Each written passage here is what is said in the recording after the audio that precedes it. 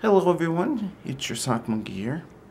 I uh, wanted to go ahead and make a quick uh, personal update video um, because my family has gotten a new personal vehicle. Unfortunately, I haven't really had the time to film it, but I will go ahead and insert a photo here.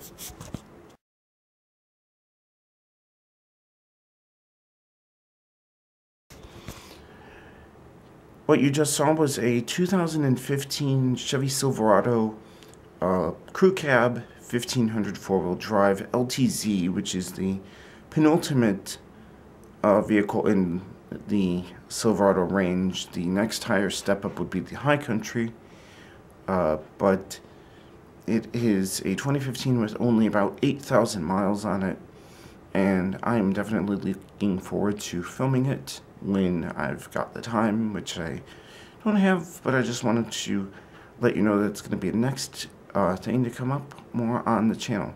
So thank you guys for watching and take care.